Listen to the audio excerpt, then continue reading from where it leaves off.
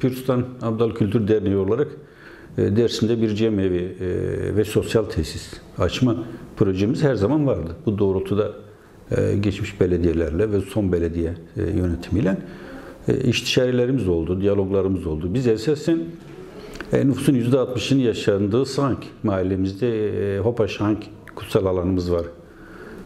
Orada yapmak istiyorduk. Uzun süre talep ettik. Ne yazık ki bu konuda pek çok yasal engelle karşılaştık. Mümkün olmadı.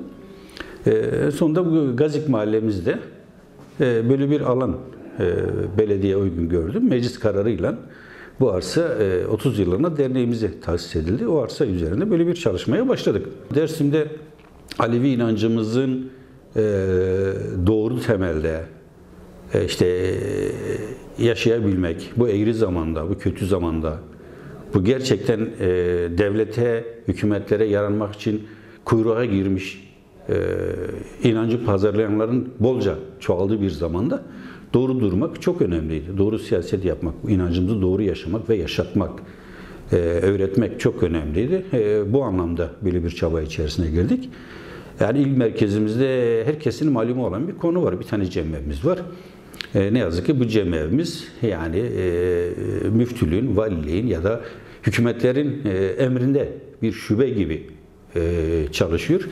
Zaten orada bulunanlar da e, çok açık söylemek gerekir ki e, çıkar, menfaat, mevki makam peşinde e, olanlardır. Defalarca kez bu konuyla ilgili e, haksızlıklara da uğradık.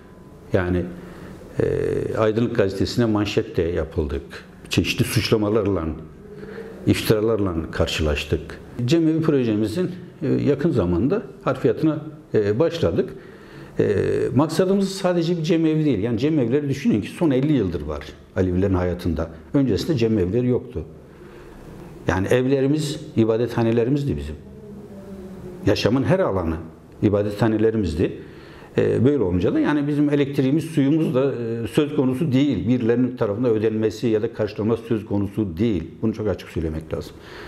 Aleviliğin merkezi olan Dersim'de bu sesin, bu itirazın, bu duruşun yükseltilmesi e, gerekiyor. Cemevimizi kısa sürede yani bir sosyal tesis ve cenaze içerisinde cenaze hizmetleri olacak, aşevleri e, olacak, e, diyelim konaklaması olacak, derslikleri olacak. Özellikle bu derslikleri yani inancımızın yaşaması ve yaşatılması, gelecek nesillere öğretilmesi, bizim ulularımızın tarih içerisinde bin yıllardır nasıl yaşadıkları, hangi e, haksızlıklara e, uğradıkları ve direnişleri hepsi birer e, ışıktır, hepsi birer e, büyük derstir.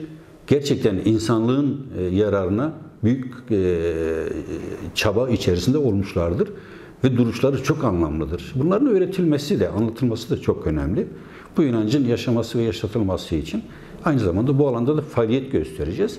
Tabii bizim çabamız sadece bir cemevi ve sosyal tesisle sınırlı değil, e, muhakkak ki akabinde daha geniş bir e, alanda e, diyelim ki e, imkan, olanak ya da arsa sağlayarak bir inanç akademisi e, dost kurumlarımızla birlikte, işte bizim müsait kurumlarımızla birlikte, ildeki demokrasi güçleri, e, doğa severlerle, bütün herkesin içinde olduğu, yani bu inancı e, yaşamak ve yaşatmak isteyen herkesin içinde olduğu muhakkak ki daha büyük projeleri de hayata e, geçirmeye çalışacağız. Dersimde bu bir gerekliliktir, dersimde bu bir zorunluluktur. E, bu görevlerin bugün tarihsel içerisinde yaşayan bizler tarafından yerine getirilmesi gerekir ve önümüzdeki nesillere, çocuklarımıza, torunlarımıza aktarılması gerekir. Dersim e, inançsal anlamda da büyük bir saldırı altında. E, bunun bizler tarafından mutlaka korunması gerekiyor. Bizim de bu saldırılara karşı e, direnmemiz gerekiyor. Şu anda e, Cemevi e, proje, e, bu kış mevsimi projesini tamamlayacağız, ruhsat işlemlerini tamamlayacağız. E, önemli bir aşamaya gelmiş durumdayız.